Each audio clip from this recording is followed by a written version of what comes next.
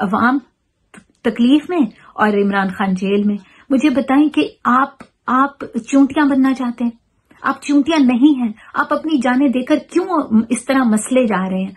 खड़े हों मुतहिद हों। ये जो महँगाई के खिलाफ आपकी आवाज़ उठाना ना ये आपका हक है। इकट्ठे हों, सब लोग मिलकर इसके खिलाफ आवाज़ उठाएँ। बजाय अपनी जाने दें। क्योंकि इन लोगों को आपकी जानों के जाने से कोई असर नहीं होता। वो जो सारे इकतदार में पहले बैठे थे, वो सारे अपने बैग पैक करके अपनी वो आज़ाद फजाओं में लंदन में जाके अयाशियाँ कर रहे हैं। वो कह रहे हैं, शहबाज शरीफ से किसी ने पूछा कि मुल्क में बहुत महँगाई वो कह रहे हैं, अभी फ़िलहाल मेरा पाकिस्तान से कोई ताल्लुक नहीं है, क्योंकि वो यहाँ कमाने आए थे।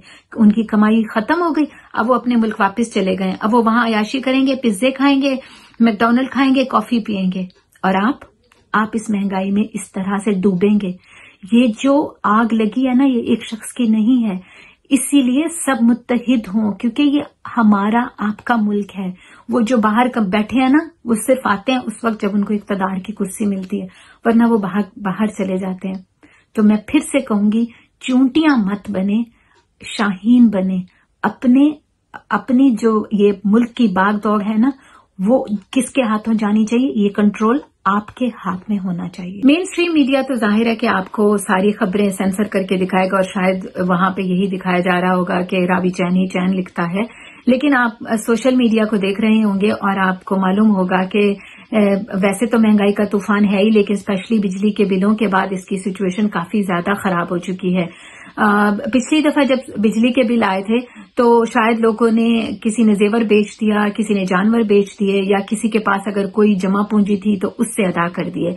लेकिन जब इस दफ़ा बिजली के बिल आए हैं तो लोग ज़ाहिर है कि परेशानी जो है वो शिद्दत इख्तियार कर चुकी है। इसमें एक जो बहुत तकलीफ़ दे ट्रेंड है और जो बहुत तकलीफ़ दे खबरें कल कुछ दिनों से आ रही हैं वो हैं खुद कुशी और खुद सो, सोजी की कोशिशें और कुछ लोग जो हैं वो जान से भी गए। तो ये ट्रेंड बहुत तकलीफ़ दे है। खुदकुशी बेसिकली ज़ाहिर है कि इस्लाम में हराम है किसी भी मज़हब में इसकी इजाज़त नहीं है और ये एक क्योंकि ये एक नाउमीदी है और नाउमीदी जो है वो कुफ्र है। तो आ, मुझे बताएँ कि लोग जो ये कर रहे हैं वो शायद बाहर आकर अपने आप को कोई आग लगा रहा है कोई आ, रेल की पटरी पे जाके बैठ रहा है या कोई गले में फंदा लगा रहा है वो सोच रहे हैं कि शायद जो अहले इकतदार है उनको असर होगा। देखें अगर आपको लगता है ना कि अहले इकतदार को असर होगा तो आप ये सोचें कि अगर अहले इकतदार आपकी खुदकुशियों से इफ़ेक्ट होने वाले होते तो क्या उनको असर हुआ था जब उन्होंने मॉडल टाउन में चौदह लोगों को गोलियाँ मारी थी? उन्होंने खातन के जबड़ों पे गोलियाँ मारी थी। एक प्रेग्नेंट लेडी भी थी उनमें। उनको असर हुआ था। उन्होंने अरशद शरीफ को शहीद किया। उनको असर हुआ। अगर ये असर वाले होते तो इनको वो अरशद शहीद अरशद शरीफ को शहीद करते।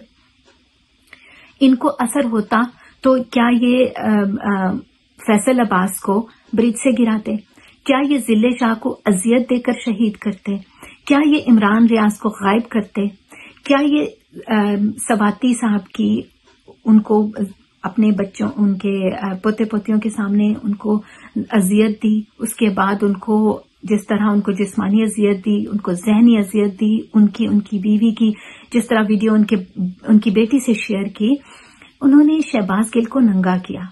इन्होंने शहबाज गिल के जो वो था ड्राइवर था, उसके साथ क्या किया? उसकी बीवी के साथ क्या किया? इन्होंने उस्मान डार के ड्राइवर के साथ या जो भी उसका वर्कर था। जिसको उसने जॉब दिलवाई थी उसके साथ क्या किया? उसको नंगा किया उसको कहा कि तुम्हारी बीवी को यहाँ लाकर नंगा करके उसकी तस्वीर बनाकर हम सोशल मीडिया पे देंगे। इन्होंने उस्मान डार के साथ क्या किया? उनके उनके जो जो सारे कारोबार बंद किए, वहाँ हज़ारों लोग जॉब करते थे। वो सारे के सारे लोग बेरोजगार हो गए। इन्होंने उस्मान डार की वालदा के साथ क्या किया? उनका घर तो मुस्मार किया, उनकी वालदा का दुपट्टा उतारा, उनको अलहदा कमरे में ले ले जा रहे थे ताकि उनको जहनी, जिस्मानी अजियत दे सकें, उनकी तजलील कर सकें। इन्होंने उनको घर से निकालकर, उनका घर सील कर दिया, उनको औरतों को खातन को घर से बाहर निकाल दिया। इन्होंने किसके साथ नहीं किया? इन्होंने असलम इकबाल साहब के घर का, की बेटी का जहेज पूरा का पूरा लूट लिया। इन्होंने उनके यानी एक्सटेंडेड फैमिली उनके भाई, उनके भतीजों जो वो हैं आवान साहब हैं उनके भाई उमर आवान को उन्होंने किया।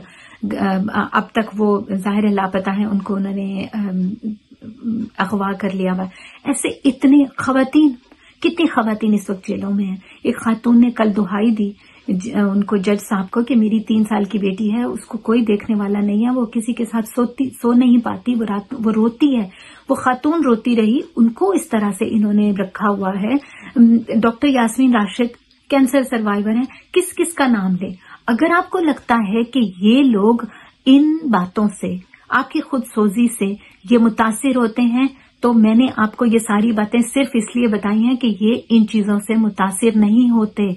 इनके लिए ये तो वो है ना जो कह रहे हैं कि आपको अगर लोग मुल्क छोड़ के जा रहे हैं तो क्या हुआ? बिल्कुल वही अल्फाज जो आ, आ, उसने गिलानी ने बोले थे यूसुफ रजा गिलानी ने कहा था मुल्क छोड़ के जा रहे हैं तो क्या हुआ? यही काकड़ ने कह दिया कि मुल्क छोड़ के जा रहे हैं तो क्या हुआ?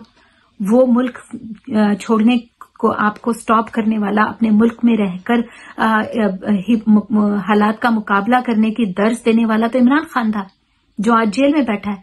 वो हमें सिखाता था कि मौलाना रूमी का कॉल है कि आप चूंटियाँ नहीं हैं, आपको खुदा ने पर दिए हैं। आप चूंटियों की तरह अपनी जाने मत गवाएँ।